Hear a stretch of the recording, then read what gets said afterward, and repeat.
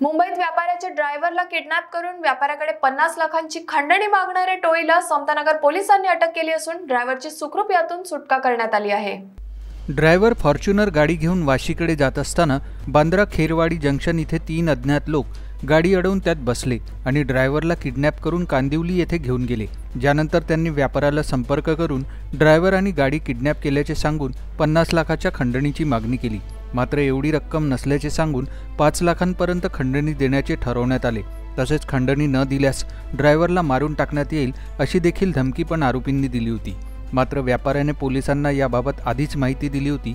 पोलिसांनी तपासणी करून तिन्ही आरोपींना अटक केली असून ड्रायव्हरची सुखरूप सुटका करण्यात आली आहे. तिन्ही आरोपींना न्यायालयात हजर केले असता तिघांना पाच दिवसांची पोलीस कोठडी सुनावण्यात आली आहे अशी माहिती पोलीस उपायुक्त सोमनाथ घारगे यांनी दिली आहे. एक सव्वीस जानेवारीच्या दिवशी दुपारी बारा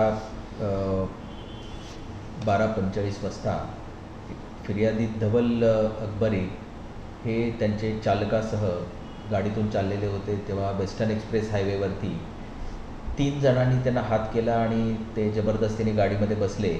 आणि त्यांनी त्यांना ठाकूर क विलेजमध्ये जे त्यांचे फिर्यादीचे घर आहे त्या ठिकाणी आणले. आणि त्यांना धमकी दिला की पाच लाख रुपये द्या नाही तर तुमच्यावर तुम्हाला मी एक इजा पोचवू म्हणून. आणि त्यानंतर फिर्यादी आहे त्यांना गाडीमधून उतरून दिला. आणि त्या तिघांनी ड्रायव्हर आणि गाडीसह ते पळून गेलेले होते. त्यानंतर एकोणतीस तारखेला एक आणि त्याच्यानंतर दुसरे दोन असे तिन्ही या गुन्ह्यातले जे आरोपी आहेत त्यांना अटक करण्यात आलेली आहे.